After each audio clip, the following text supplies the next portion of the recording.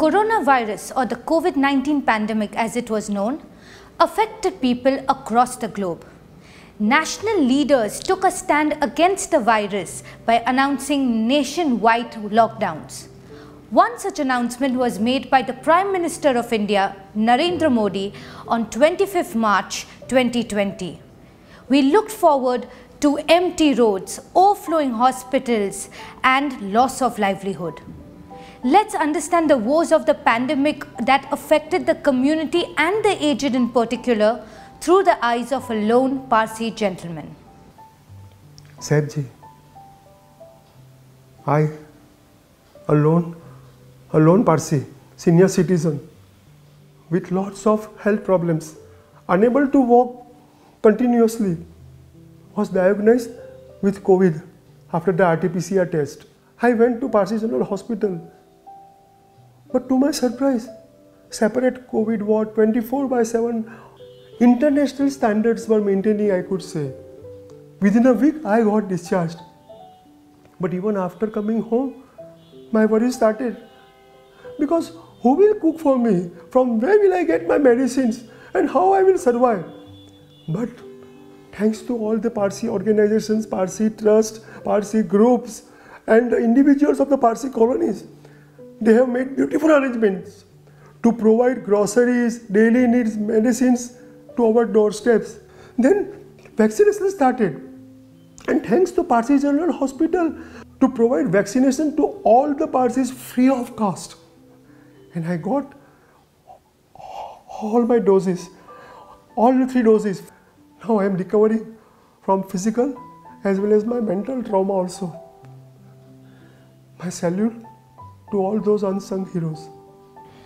We realize through the eyes of this lone Parsi gentleman the trauma that our community face, especially the old and the feeble, especially the ones that saw the virus close enough and needed hospitalization. Many institutes offered help. One such established institute is the Parsi General Hospital. Let's hear from the president of the Parsi General Hospital, Mr. Homa Petit. Greetings from the BD Petit Parsi General Hospital to all our friends, well-wishers and donors, not only in USA but the world over and to the 12th World Congress attendees. In March 2020, the world plunged into one of its worst healthcare crises with the COVID-19 pandemic. There was a shortage of practically everything from hospital beds and infrastructure, oxygen, PPE kits, ventilators, medical and nursing staff and vaccines. We quickly opened COVID wards with all beds equipped with piped oxygen and a separate COVID ICU and a step down ICU. All this was only possible because of our dedicated frontline staff, our honorary doctors, and you, our dear donors, all of you being our COVID heroes. Now that the fourth wave has started, we are better prepared. And even as I speak, we have today more than 25 COVID variant patients in our hospital.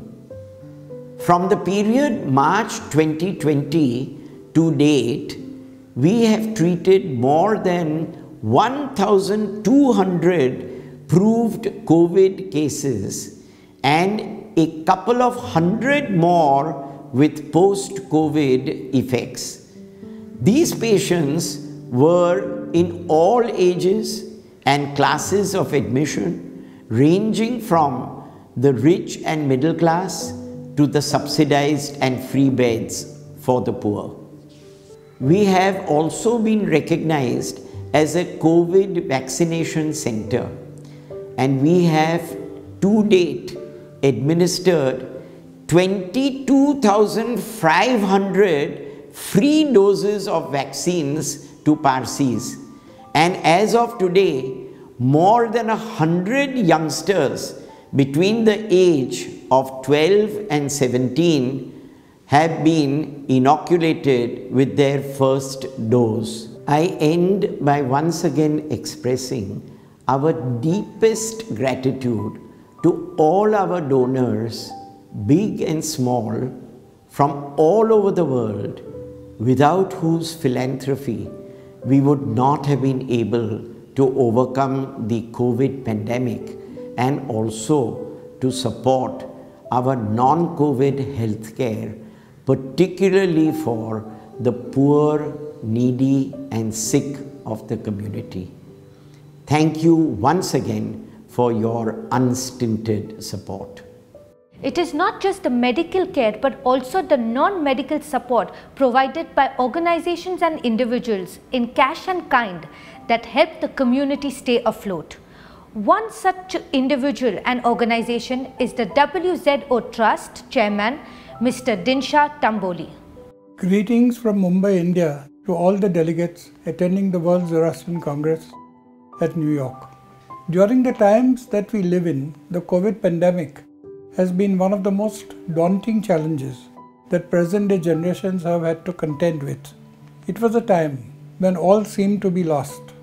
It was also a time when our very survival depended on our ability to face and overcome the challenge that was laid before us. The Parsi Irani Zoroastrian community, like people from all over the world, suffered as never before. As with all countries, India too was ravaged by the pandemic. Thousands of lives were lost, jobs were lost, businesses had collapsed, and mankind had become very vulnerable. We extend our sincere gratitude to each and every donor who contributed towards this humanitarian effort as per their means. Special mention has to be made of seven heroes whose contributions made a massive difference to alleviate the suffering of community members on account of the pandemic. The WZO trusts could only render aid of such magnitude to affected community members due to the generosity of the Zoroastrian Charity Funds of Hong Kong, Canton and Macau, Parveen and Jal Shroff of Hong Kong, Perrin and Noshir Pauri of Hong Kong, Fezana, Federation of Zoroastrian Associations of North America, ZTFE, Zoroastrian Trust Funds of Europe, WZO, World Zoroastrian Organization USA region, and by Manik Manikbai PB Jeejeebhoy, Deed of Settlement Fund, Mumbai. As a community, we are indeed extremely fortunate and privileged that we have within us so many champions of philanthropy who have between them contributed rupees 54 million or in terms of US dollars 695,000. May Ahura Mazda continue to shower his blessings on our community and all mankind for all time to come. Hello. Today I look better, correct? Because pandemic is under control now and we can smile. It's a common joke that a lone Parsi will find a way to fight with himself in the mirror also. but I proved my mirror wrong. We Zoroastrians helped each other collectively, not just within our own proximity, but also across the geographical boundaries, for which we express our humble gratitude to them for their support and care. More so, the august presence of over a thousand people watching this film today are the testimony to the fact that we, the Zoroastrians, will survive, flourish, and thrive despite the odds over the centuries to come. May Dada Nauramazda be with all of us. Yazdan पनाबाद।